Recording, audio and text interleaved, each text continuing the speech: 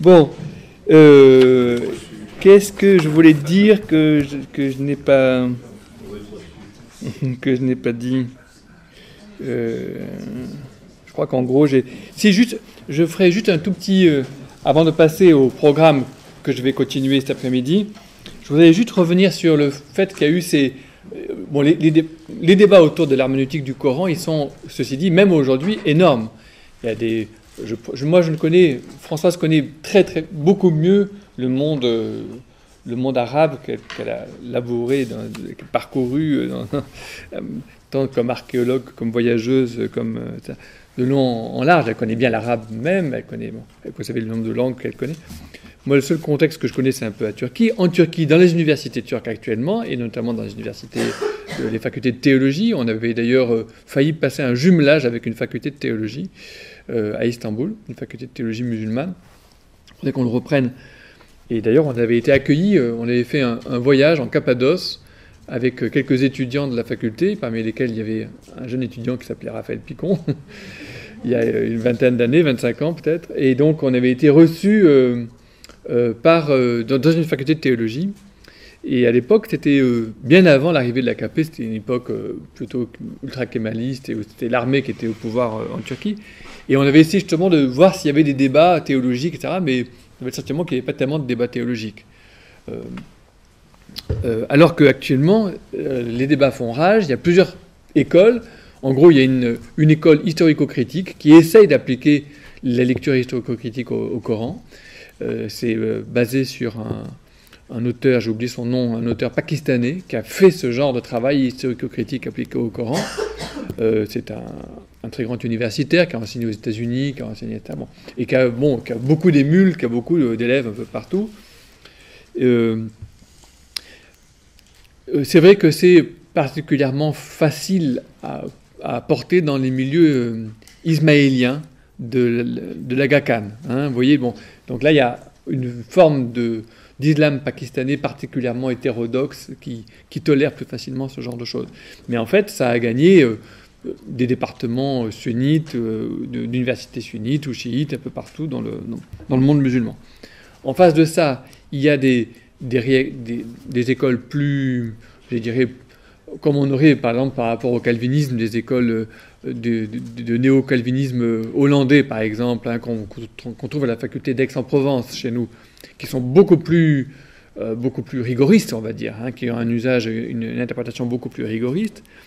Et euh, il y a aussi une tendance aujourd'hui nouvelle qui apparaît, qui est très forte en Turquie, qui est une tendance euh, qu'on pourrait dire postmoderne. En gros, l'idée de postmoderne, c'est que la modernité a fait long feu, c'est fini la modernité, parce que la modernité était basée sur un régime de grands récits d'émancipation, de vérité, etc., qui était en gros euh, porteur du, de l'Occident triomphal chrétien, etc et que euh, de l'intérieur, notamment par un certain nombre de grands auteurs français, euh, euh, la déconstruction de Derrida, Lyotard et un bon nombre d'autres, en quelque sorte, cette, conception universaliste a été dynamitée.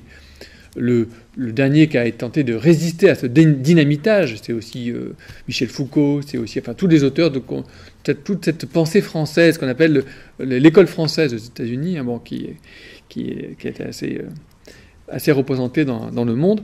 Le dernier à avoir tenté de résister à ça, c'est Habermas, le philosophe allemand, qui lui continue à, continue à chercher à penser la modernité comme inachevée et euh, à, penser l'universalité. Et donc, les débats entre le postmoderne et Habermas sont des débats qui sont très fréquents dans les facultés de théologie musulmane en Turquie. Vous voyez, c'est pour vous donner un exemple du genre de débat qui traverse, l'islam. Euh, et donc là, l'idée, c'est que ben, l'interprétation d'un texte, elle n'est euh, pas scientifique, elle est forcément... Ben, c'est Gadamer, si vous voulez. C'est l'idée qu'elle est herméneutique, on appartient à une tradition, et donc il faut y croire pour le comprendre. Hein, c'est de l'intérieur d'une foi qu'on peut comprendre une tradition. Et euh, donc il y a, je dirais, autant de traditions interprétatives qu'il y a de communautés interprétatives. Ça, c'est le paradigme postmoderne qui, quelque part, a recycler d'une manière euh, à la mode, dans un langage à la mode, l'herméneutique gadamérienne, à laquelle Ricoeur résistait, parce que Ricoeur, pour Ricoeur, il y a une dimension de l'herméneutique qu'il propose est une herméneutique critique, c'est-à-dire qu'il y a une dimension de critique historique qui est très importante pour Ricard. Je ferme cette parenthèse, il faudrait peut-être y revenir si on a le temps euh, la prochaine fois. Mais voyez, c'est tout ça pour vous dire que dans, dans, et on a eu ici dans cette faculté des étudiants musulmans qui ont travaillé, qui ont fait leur doctorat, même euh, un jeune étudiant euh, turc, Selami Varlik, qui, qui, était, qui était le rédacteur d'un grand journal turc musulman qui s'appelle Zaman pour la France. eh bien, il a passé son doctorat sous ma direction à l'EHESS, avec la félicitation à l'unanimité du jury, un très bon doctorat sur ces conflits d'interprétation coranique. On a la thèse ici, si ça vous intéresse, vous pouvez aller voir. C'est juste pour vous montrer que voilà, que ça existe. Bon.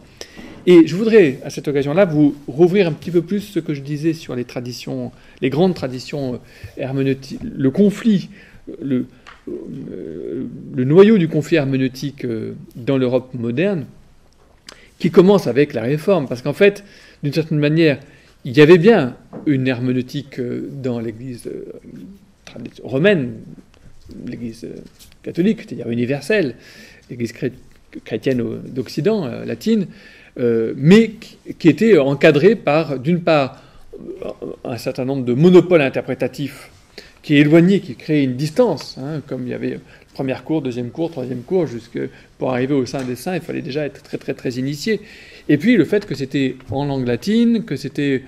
Euh, euh, le texte n'était pas un texte d'accès très, facile, il était très encadré, très. Voilà. Et donc la réforme contemporaine de l'imprimerie, tout le monde a le texte biblique, peut ouvrir, enfin, peut, avoir accès, les gens moyennement fortunés peuvent avoir accès au texte biblique, et du coup il y a un énorme problème d'herméneutique réelle qui se pose, c'est que tout le monde peut se justifier au nom de la Bible. Et ça, c'est extrêmement dangereux.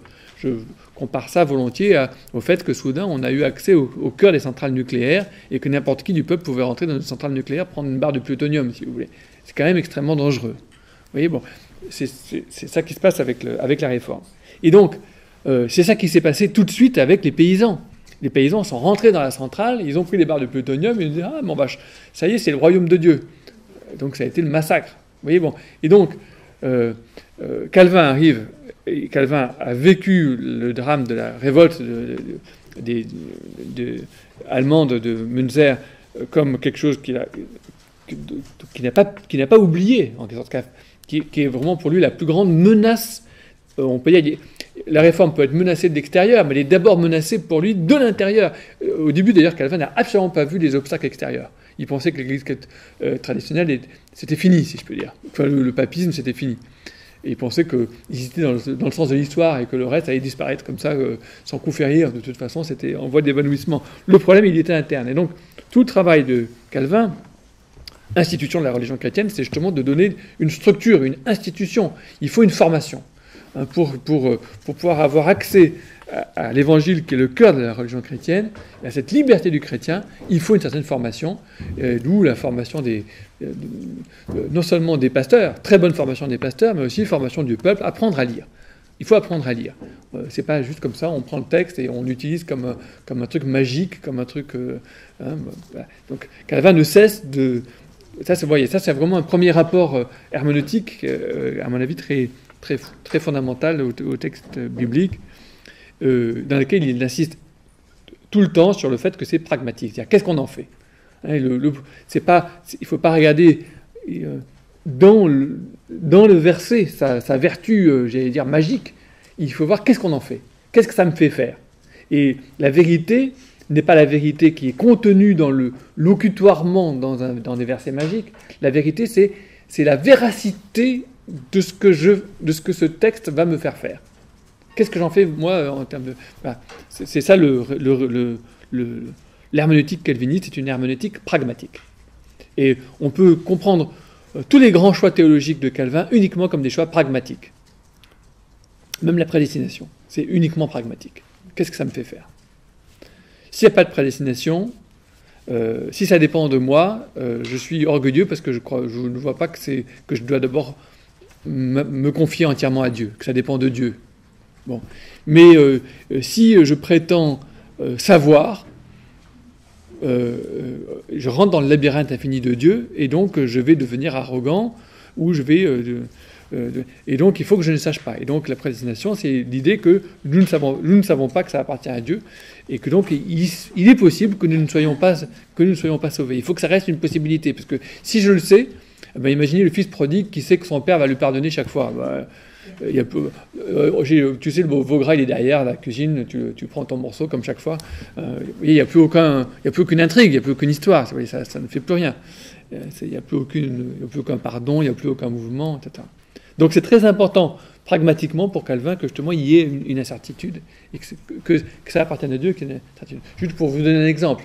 Ça a été des, vous voyez, ces questions-là sont, des questions herméneutiques très importantes. Hein, bon. Euh, le nombre de passages bibliques dont l'interprétation va être comme cela euh, tout à fait déterminante pour euh, la vie de chacun et pour la vie en société. Alors c'est là que, euh, dans la mesure où c'est pas fini, c'est pas uniquement la guerre des paysans, l'histoire du calvinisme est traversée de secousses, de secousses de conflits d'interprétation qui donnent lieu aussi à des secousses politiques. Dans les différents pays, et notamment la Révolution anglaise. Et donc, un des premiers auteurs qui, va, qui va réagir à la Révolution anglaise, c'est Hobbes, Thomas Hobbes, très grand philosophe. Et Hobbes, lui, euh, justement, sa solution, c'est de dire euh, il, il n'y a pas de. Les gens ne peuvent pas interpréter librement le texte biblique. Il y a une interprétation légitime, et cette interprétation légitime, elle doit être donnée par le souverain, c'est-à-dire par le roi ou la reine d'Angleterre. Donc euh, ça, c'est la solution obscène. Je vais très vite, hein, je, caricature, mais à peine. Parce que pour lui, en gros, le, cœur de la, de la, guerre et de la paix et de l'ordre social euh, est basé là-dessus. Parce que si les gens peuvent euh, fonder sur leur foi, sur, leur, sur leur bonne foi, en toute bonne foi, fonder sur le texte biblique, protester, contester l'ordre établi, il n'y a plus d'ordre établi. Tout, tout, peut, tout peut être ruiné. Et donc pour lui, le théologique est la condition du politique. Il faut régler le, théologique pour régler le politique. Donc on ne peut pas penser, on ne peut pas faire de philosophie politique moderne sans comprendre qu'au cœur de la philosophie politique moderne, il y a un problème théologico-politique qui a été ouvert par la réforme. Ça, c'est en général ce que les gens, les étudiants de Sciences Po ne, savent pas et ne connaissent absolument pas ça. C'est une histoire qu'ils ignorent complètement. Donc Hobbes, toute la, la grande œuvre de Hobbes est une réponse à ce problème-là. Alors il y a d'autres solutions. Il y a la solution de Spinoza. Euh, Spinoza euh, est un autre grand philosophe. Euh, vous voyez bien, je fais une petite parenthèse, vous voyez bien les, limites de chacun. Françoise travaille à travers l'archéologie du texte biblique. Moi, je travaille avec mes matériaux à moi qui sont les philosophes, si vous voulez. C'est ma limite. Hein. ne prenez pas ça comme un étalage de culture. Prenez-le ça seulement comme moi, qu'est-ce que j'ai comme indice ce genre de questions j'ai des philosophes. Euh, donc, deuxième cas, c'est le cas Spinoza. Spinoza lui dit, écoutez, en gros, il écrit un gros traité théologico-politique qui est un traité d'herméneutique, là encore. C'est-à-dire comment est-ce qu'on va interpréter le texte biblique? Est-ce qu'il y a une règle d'interprétation? Est-ce qu'il y a une règle interprétative? Et il dit en gros, oui, il y a une règle interprétative, c'est que dans ce texte, il y a des histoires qui sont vraiment des histoires, des enfantillages, des, trucs tirés par les cheveux, etc. Mais il y a toute une partie de ce, ce texte biblique qui est, qui est magnifique, une magnifique institution, je dirais, de la, sagesse humaine. Et donc, en gros, on a un canon dans le canon, c'est il faut prendre dans le texte biblique tout ce qui est, sage, il y a énormément de choses qui sont sages, qui sont de, l'ordre de la, vraiment de la sagesse des nations. Et on peut, au nom de cette sagesse, jeter tout ce qui est euh, complètement euh, excessif, euh, biscornu, incroyable, des, des, fables à dormir debout, des choses inutiles. Vous voyez, bon, là, aussi, je suis très caricatural, hein, mais pour vous voyez un petit peu ce qu'a fait Spinoza. Spinoza, qui est quand même, c'est intéressant parce que là, on est dans un contexte, ces contextes calvinistes sont anglo-hollandais, hein, en gros les deux autres auteurs dont je vais parler, c'est Bail et Rousseau, c'est francophone, mais euh, ils n'ont pas, ils n'ont, c'est très minoritaire. Bail a, dû s'exiler, il a dû euh, vivre justement à, Rotterdam, hein, bon, et Rousseau lui-même a passé son temps à, être ailleurs que chez lui. il ne savait pas où il était chez lui. C'est des exilés, si vous voulez. donc, Spinoza, oui, je voulais insister sur le fait que c'est les, Pays-Bas, c'est les, provinces unies de cette époque-là sont un, lieu. donc, lui, il est d'origine de famille juive. c'est un, il y a un côté marane, il y a un côté. en même temps, il y a certainement des profondes racines dans la culture euh, du judaïsme, et en même temps une rupture, une très grande liberté, une très grande hétérodoxie, ce qui fait que les juifs n'ont cessé d'être partagés par rapport à Spinoza, euh, qui, n'était pas des leurs, mais qui était quand même des leurs, etc. Euh, mais en gros, Spinoza, pour le dire très vite, il fait en gros ce que, par rapport au judaïsme, ce que sera le protestantisme libéral par rapport au protestantisme traditionnel, si vous voulez mais il n'a pas de suite, il n'y a, pas de filiation euh, spinoziste euh, tellement. Euh.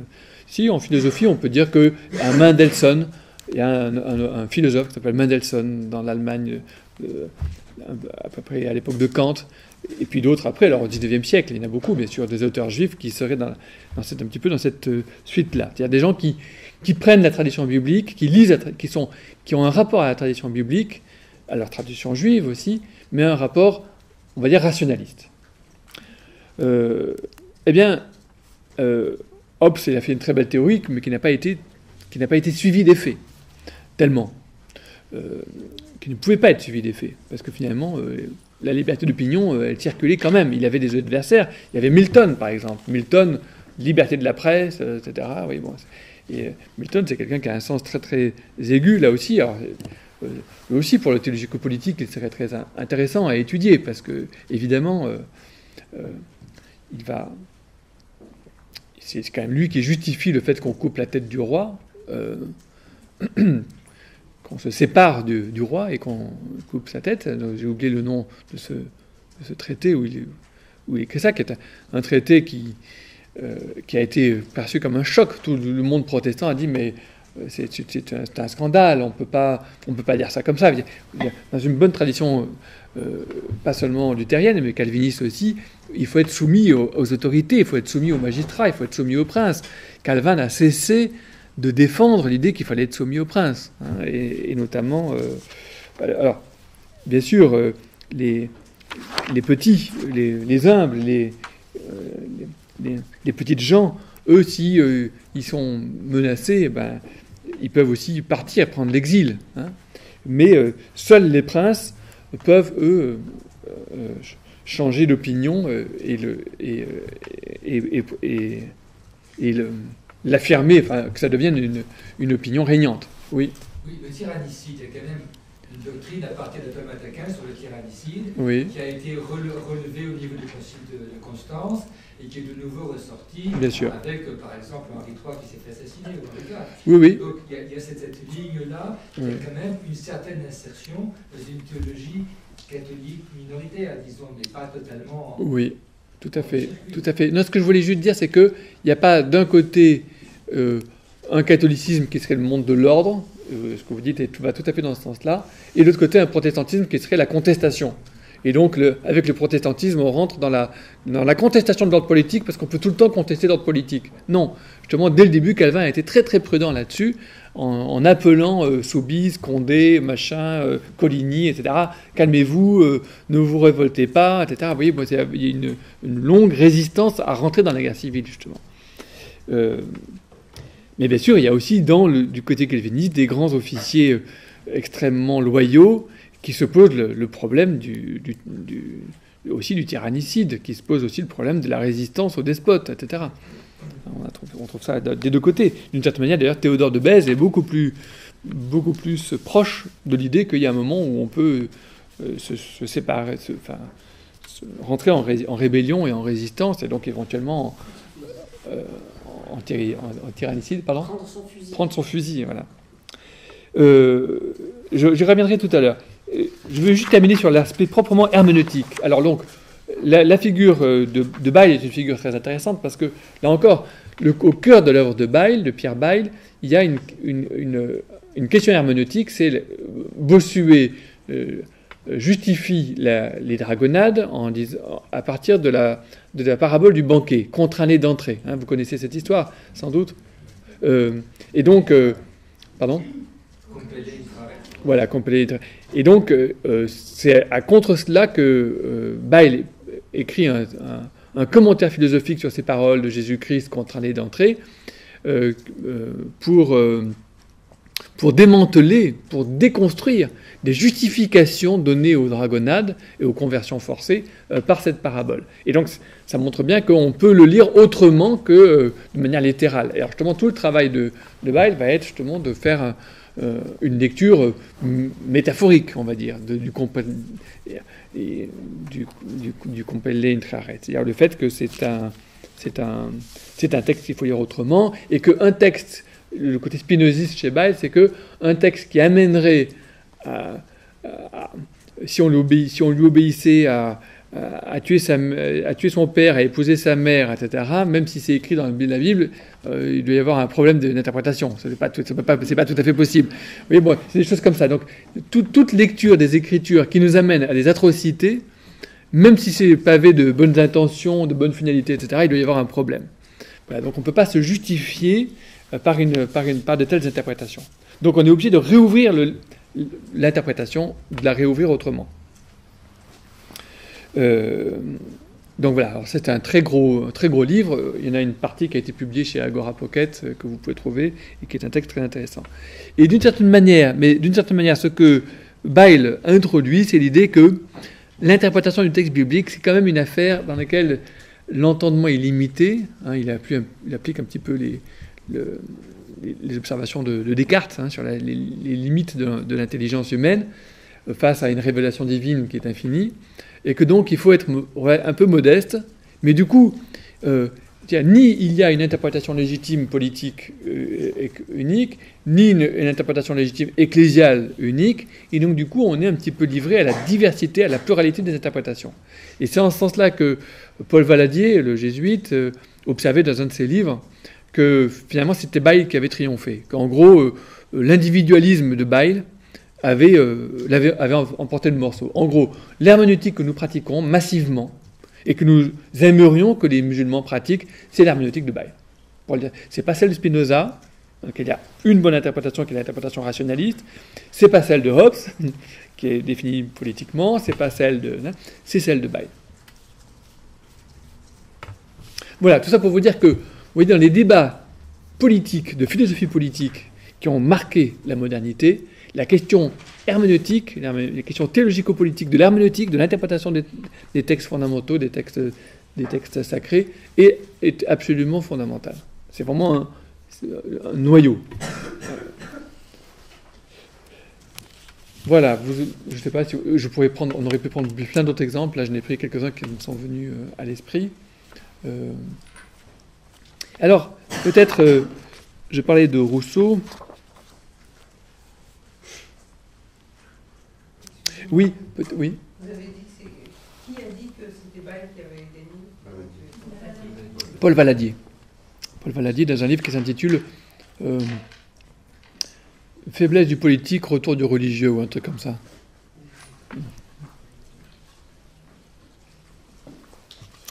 Euh, j'ai évoqué Milton, peut-être juste un mot de Milton, parce que c'est un auteur que j'affectionne. Euh, Milton écrit Un paradis perdu, qui est un commentaire de la Genèse, une réécriture de la Genèse, c'est son texte le plus fameux. Euh, c'est un texte, en gros, sur, euh, sur l'histoire de l'humanité, mais comme histoire conjugale. En fait, finalement, Milton va penser la liberté, tous les registres de la liberté, euh, sur, les, sur le modèle de la liberté conjugale. parce que c'est ça le cœur de sa, de sa... En gros, on avait, sous l'égide de, des épîtres de Paul, une conception du mariage comme étant le mariage étant une sorte de, de pis-aller.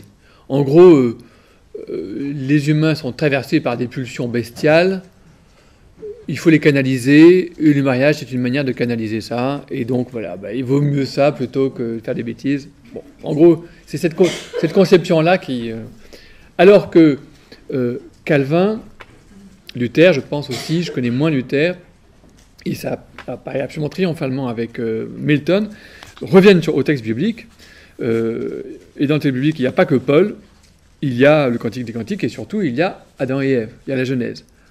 Extraordinaire histoire de couple. Et donc, même la chute va être interprétée par, par, par Milton comme une histoire, comme une histoire conjugale. je dis ça pour dire que là aussi, il y a une, il y a au cœur de l'imaginaire occidental une sorte de une herméneutique. Ce n'est pas, pas, seulement le problème du théologico-politique. Vous voyez, il y a un théologico-conjugal, si je puis dire, euh, qui est un problème aussi important, peut-être même plus important, parce que probablement l'Occident, si l'Occident a triomphé du monde si facilement à une certaine époque, c'est parce qu'il apportait un modèle conjugal extrêmement séduisant, qui les jeunes filles quittaient. Et c'est, à mon avis, c'est l'enjeu du problème du voile aujourd'hui. Hein. c'est est-ce que les filles vont vont, vont rester dans l'ordre musulman ou est-ce qu'elles vont se joindre, euh, ou est-ce qu'elles sont acquises à l'ordre occidental qui est l'ordre miltonien, si vous voulez, l'ordre euh, Adam et Ève, l'ordre euh, hollywoodien, du couple libre, hein, du couple qui peut divorcer. Et donc, tout le travail de Milton va être d'essayer de dire, mais non, mais le divorce, c'est absolument biblique. C'est biblique, et donc, oui, en effet, d'abord, il y a des textes dans le Deutéronome qui donnent un droit de divorce à la femme égal à celui de l'homme. Oui, donc ça, c'est quelque chose que Calvin a très bien pointé dans son commentaire du Deutéronome et qu'il va pratiquer à, Genève. c'est des choses qui après ont été complètement oubliées hein, dans la tradition ultérieure.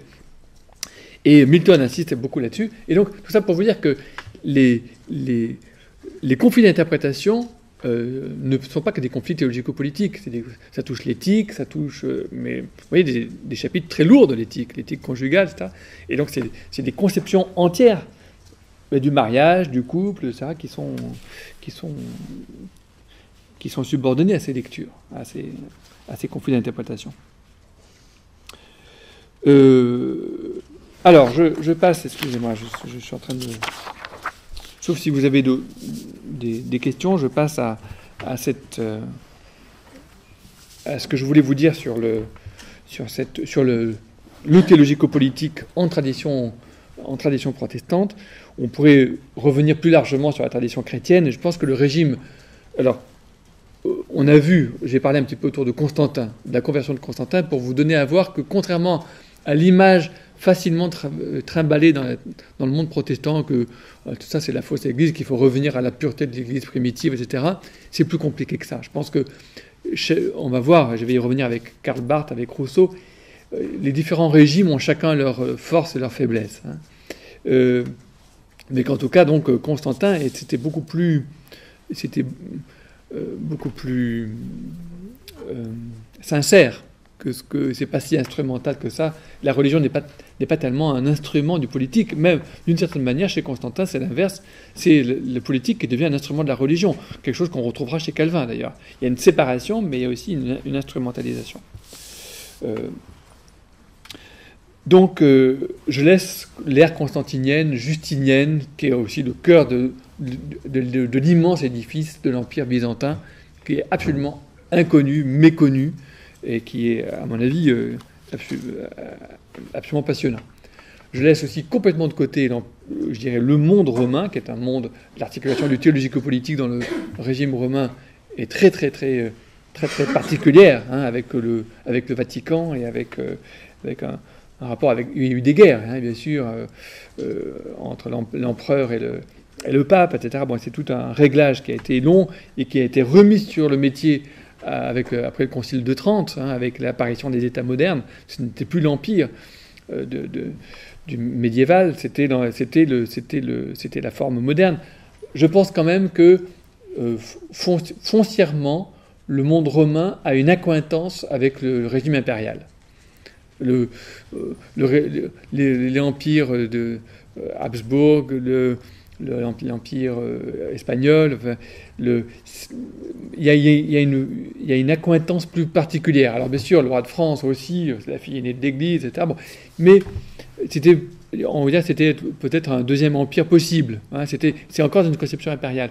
Je pense que les églises de la Réforme sont très à l'aise en termes de, de grande époque. Hein. je fais là encore dans la caricature.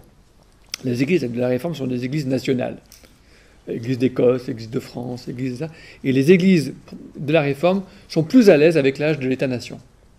Et dans la mesure où euh, nous ne sommes plus à l'âge impérial, où dans la mesure où nous ne sommes plus à l'âge des États-nations, euh, voilà, on est dans une époque de redéfinition, qui est de redéfinition à la fois des formes politiques, à l'âge de la mondialisation, à l'âge des réseaux, etc., et en même temps de redéfinition des formes d'Église. Donc l'Église catholique a, a, son apogée avec l'âge impérial, les Églises protestantes peut-être avec des États-nations. Euh, là encore, oui, je caricature beaucoup, mais et voilà, qu'est-ce qui est en train de se préparer C'est peut-être la question qu'on peut se poser. Alors, euh, l'articulation calvinienne, je vais y revenir un petit peu avant de venir à Rousseau. Rousseau, on le fera cet après-midi, en début d'après-midi. Rousseau, Karl Barth, Walzer. En gros, c'est ça les trois chapitres que je vais déployer du, de la question du théologico-politique. Euh, l'articulation de Calvin est très très très très subtile, parce que comme je disais tout à l'heure, en même temps, il y a une règle, c'est la soumission aux autorités. Et euh, cette soumission aux autorités fait que la seule manière de changer réellement, profondément l'ordre du monde, en fait, c'est de gagner les princes. D'où une intense activité épistolaire et euh, amicale de Calvin à l'égard de, tous les, de tous les princes, de tous les rois. Hein, il y a une correspondance avec Édouard d'Angleterre, une correspondance avec, euh, avec la reine euh, avec la sœur du roi, avec euh, euh, Marguerite de Navarre, excusez-moi, qui est la sœur de François Ier, puis avec sa fille, Jeanne d'Albret, correspondance de, partout. Bon, comme ça, ça c'est vraiment une dimension très importante. Bon. Et eux, les princes, ils les traitent en régime d'éthique de responsabilité. Vous êtes responsable. Et donc, soyez vraiment responsable. C'est-à-dire soyez cohérents, soyez responsables, soyez dignes de votre charge, etc. Mais euh, cette, cette, règle est soumise à une exception, de la soumission aux autorités, et, il, a, cette formule extraordinaire d'équilibre euh, théologico-politique. Il dit euh, il faut se soumettre aux autorités, mais en la matière, il y a une, il y a une règle, ou plutôt une exception, qui est que si l'autorité désobéit à Dieu, eh parfois on va être amené à désobéir euh, à, l'autorité. Hmm. Non, attendez, je me demande si c'est pas dans l'autre, sens. Il y a une exception ou plutôt une règle. Ça revient au même, hein, d'une certaine manière. Ah non, c'est pas du tout pareil. Oui. c'est Dieu, on est d'accord. Disons que voilà. Non, L'exception, c'est de désobéir, c'est la désobéissance aux autorités pour obéir à Dieu. C'est ça, c'est ça. Et donc, euh, euh, donc ce régime exceptionnel, mais attendez, c'est un, une catégorie extrêmement de, de, philosophie politique extrêmement importante. L'état d'exception, c'est le droit du souverain. Le souverain, c'est celui qui a le droit de décréter l'état d'exception. C'est donc de décréter la guerre, notamment. Hein. Et donc, euh, de, formuler les choses en termes d'exception et de règles, ça montre que Calvin, là encore, est un très grand juriste, quelqu'un qui sait très bien de quoi il parle. Et donc, euh, il y a quand même la trace d'une hésitation. Euh, c'est-à-dire, on pourrait dire, c'est la règle, lorsque le souverain désobéit, eh bien, on va obéir à Dieu, à ce qui est au-dessus du souverain. Oui, mais si on dit que c'est une règle, tout le monde va désobéir.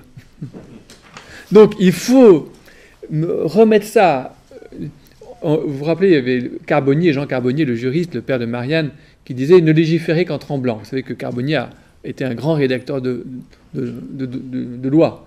Hein, pour, euh, pour De Gaulle, pour, euh, pour Pompidou, il a rédigé beaucoup de, lois, notamment toutes les lois du, divorce. Le divorce était interdit en France jusqu'à il y a...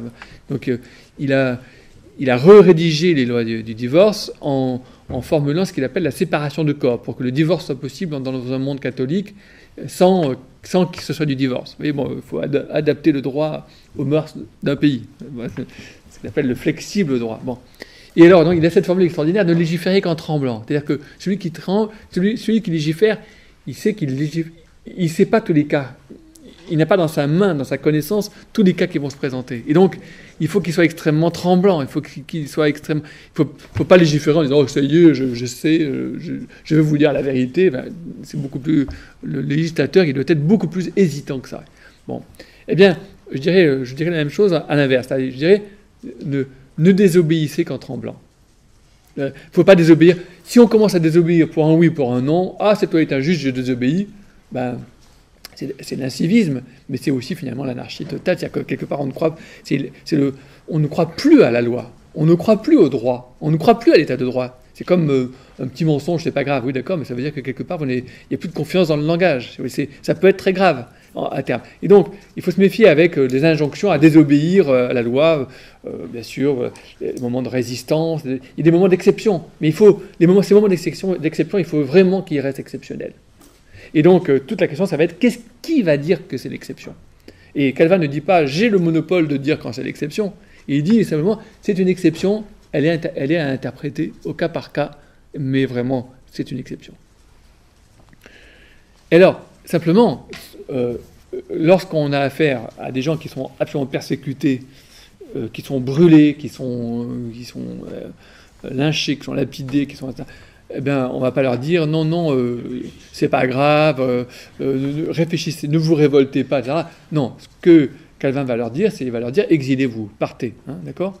Donc les princes ne doivent pas abandonner le navire, eux ils doivent rester sur place, et donc eux ils doivent assumer, eux ils sont en régime de responsabilité. Les petits, les petites gens, eux, ils sont en régime de conviction. Et si leur conviction est évangélique, et si leur vie est menacée, eh bien, il faut qu'ils partent. C'est l'exil, c'est la seule, solution. Voilà, ça je dirais c'est que c'est le, le jeu de balance extrêmement subtil que Calvin a introduit. Je ne parle pas de l'ensemble du théologico-politique chez Calvin, qui est extrêmement, extrêmement complexe, parce que Calvin, d'une certaine manière, il fait autant que Machiavel, dans l'autre sens. Machiavel veut séparer la cité de la papauté, c'est tout son travail il faut le dire, de conseiller florentin, parce que Florence avait tout intérêt aussi à cette séparation de l'État et de l'Église. Hein. l'émancipation de l'État par rapport à l'Église, qui était euh, Florence avait fait sa fortune grâce au monopole sur le, sur le monopole de l'impôt ecclésiastique et le monopole européen. Vous imaginez même s'ils prélèvent 1% de, de la dîme sur toute l'Europe, vous imaginez les fortunes qui peuvent se faire. Ce, droit de lever la dîme qui avait été d'abord accordé à Pise, puis à Sienne, qui a fait la fortune de Sienne, soudain le pape dit Ah non, mais c'est Florence, c'est plus Sienne. Alors bien sûr, mais c'est des. Et bon, euh, la puissance des Médicis est directement liée à cet impôt, à, à cet impôt pontifical. Je ferme ces parenthèses, pourquoi je vous raconte tout ça euh, Pour vous dire que, voilà, donc Machiavel, fait ce travail de séparation de l'Église et de l'État. Calvin fait le même travail de séparation de, non, pas de l'État vis-à-vis de l'Église, mais de l'Église vis-à-vis de l'État. Il ne cesse de dire, mais non, mais des affaires de l'Église, c'est des affaires de l'Église. L'État de Genève n'a pas à, dire son mot là-dedans. Hein, euh, si on excommunie quelqu'un, on excommunie euh, euh, on ne dit pas qu'il n'est pas citoyen, on dit qu'il est communé de l'Église pour quelques mois, etc. C'est autre chose. Et c'est pas un problème. Et c'est pas du tout évident pour les mentalités de l'époque. Quelqu'un qui est chassé de l'Église, c'est quelqu'un qui est chassé de la cité. Pour Calvin, non, ce sont deux choses différentes.